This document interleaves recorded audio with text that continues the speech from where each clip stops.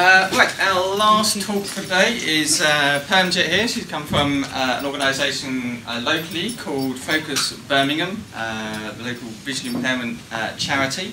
Uh, and she's going to talk to us about benefits and life during the pandemic. Good afternoon, everyone. As it, we're entering um, the end of the day, um, I don't know how I'm going to live up to the other speakers, so I'm very humbled to be standing here today.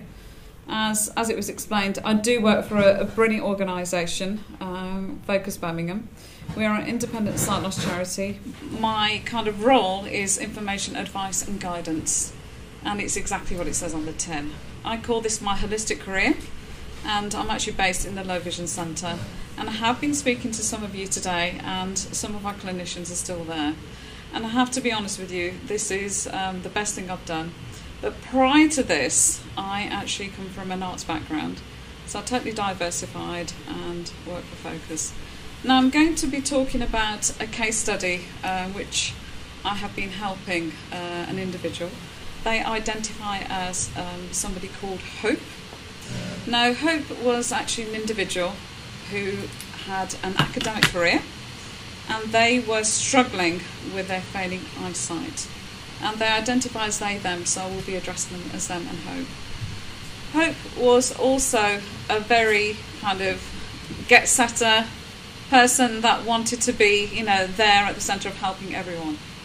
But with failing eyesight, which led on to other medical health conditions, they'd lost their academic career more or less overnight, which set them down into very deep depression, very sadness of having no financial means to support themselves, and also, you know, being fiercely independent. The family that they were the go to person started to go to other people. So they lost their identity as to where they fitted in the family arena. Hope always wanted to be that person, never to be the person to be dependent on anyone else. The eyesight led on to other health conditions which uh, inhibited their mobility. Sadly, um, it affected their inner relationship, so uh, a lot of people started to not help. Hope felt very isolated, and then they started to stay at home. They didn't know where to turn to, what to do, and they decided to stay at home. Savings were depleting. Once having such a brilliant academic career and mind, and they couldn't recognise their face in the mirror anymore. Five cycles of why me, the anger, the grief, disappointment in themselves started to step in. And even the arguments got, you know, bigger and bigger and more inflated. So they didn't know what to do. Money was depleting, and then they thought, well, where do I go? What do I do? After, you know, earning such a substantial amount uh, of salary every month, they were left with the bare bones to live on. Poverty was striking, and they had to resort to going on to benefits, but didn't know where to go, so they came to us.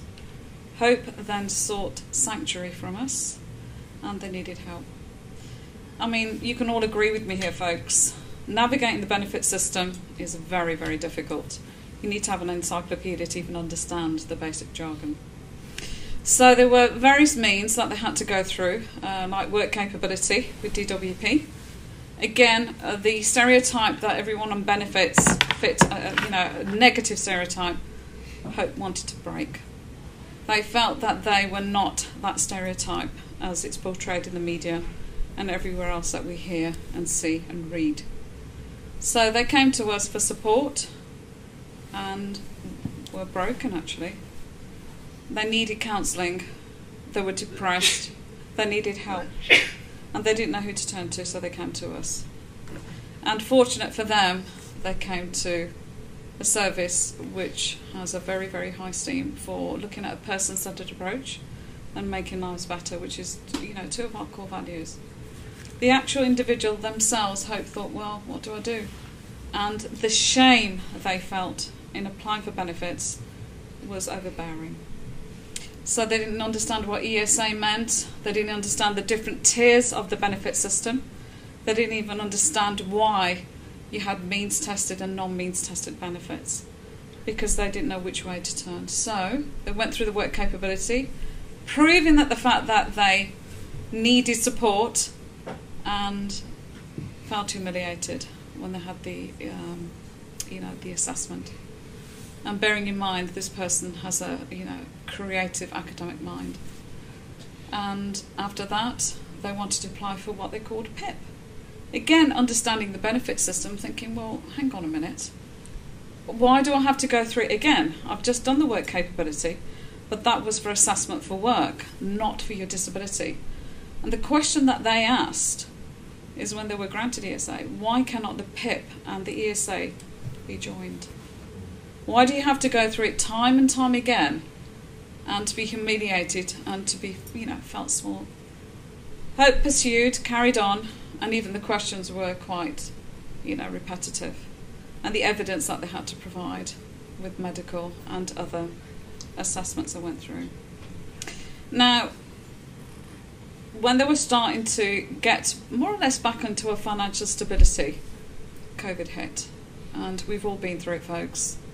Um, Hope being on their own felt more isolated. They were just starting to regain a bit of their confidence and a bit of, you know, self esteem. And those two, three years that they were isolated, they were able to kind of, you know, engage in the activities that we have at Focus. Some of them were online. So, I mean, how many of us kept saying, you know, how to use Teams and Zoom? You're on mute.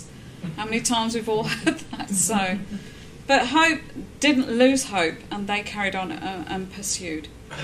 But having said that, at the end of the day, they still weren't awarded their PIP and they were living on. And this is a question for the audience, for all of you.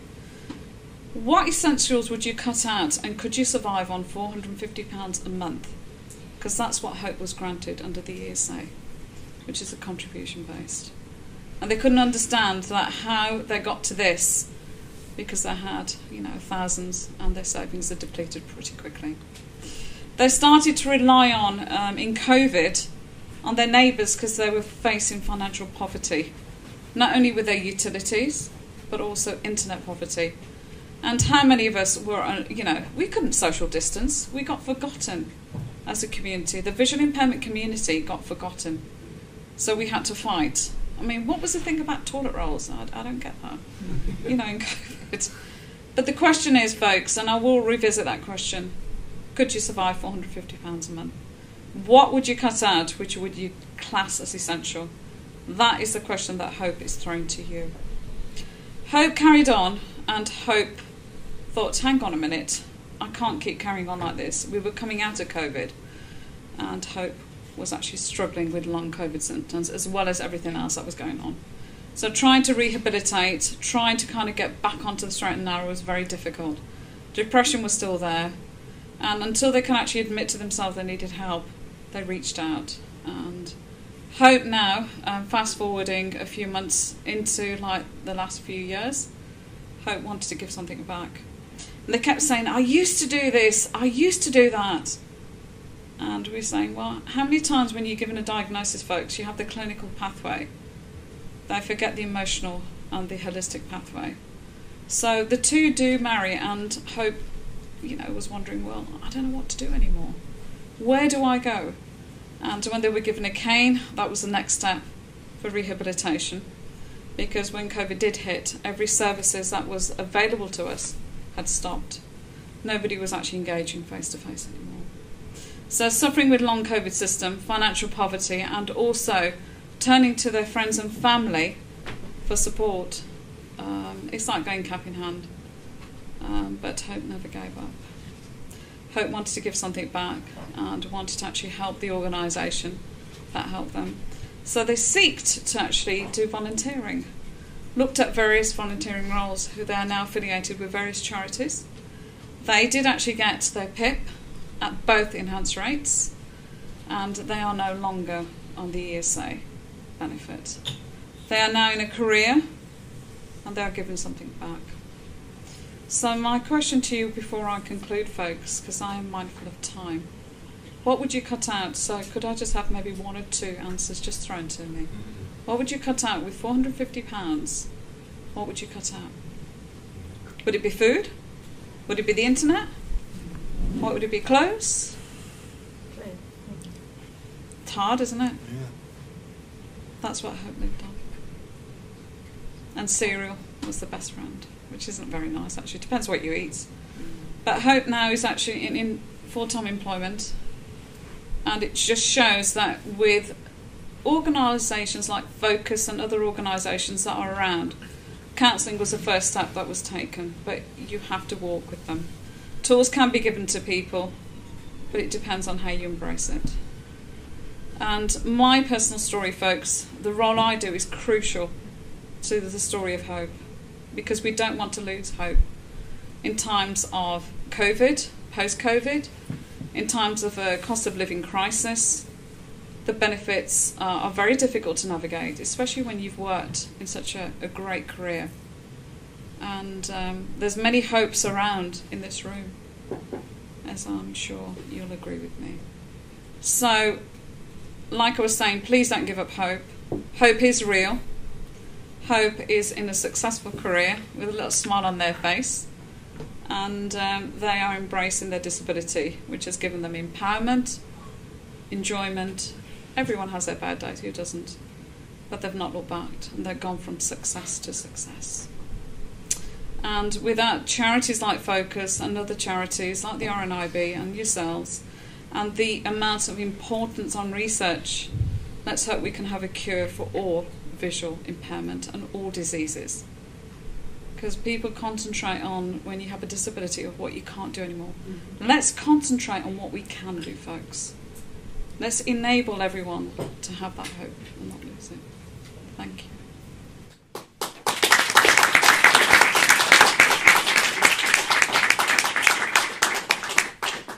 Have missed a lot out, I'm going to be honest. you know what they say about remembering. but does anyone, um, just yeah, a couple of questions, yeah. any questions about the £450 budget? It's hard, isn't it?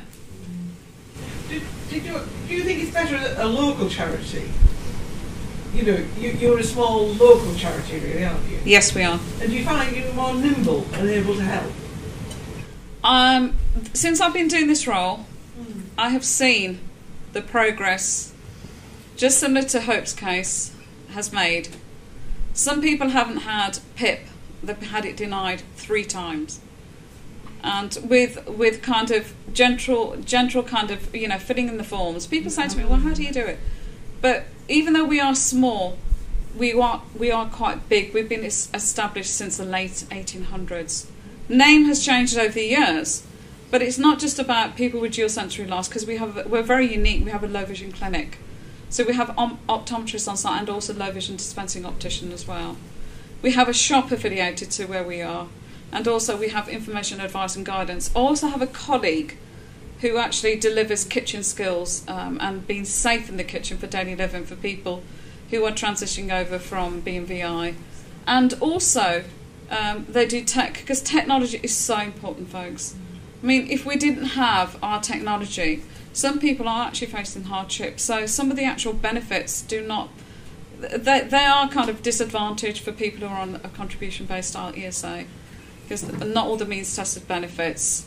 So it's it's it's you know I could be here all night, which I don't want to be because I know you know we're all um, you know kind of engaging for the for the right reasons. But even though we are a small charity, we provide a lot of support not just for the individual but for families as well you know? Because it affects the families and people forget that. Um, and i'm actually one of a similar c- a case to hope because i wanted to give something back. And when hope was always saying well i can't do this. I was an academic they still are an academic. They haven't lost that brain power. They haven't. And that's what the, the belief that they've lost. So uh, f- for for any organisation big or small we all fit in the cog.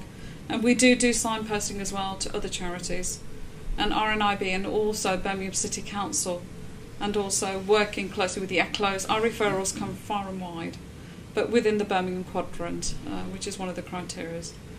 Um, I actually am a trustee for another charity, and I've seen how much work a small charity does actually do, the impact it makes on people who are either on their own or the family or they're struggling all they do is reach out and we can support them as best we can.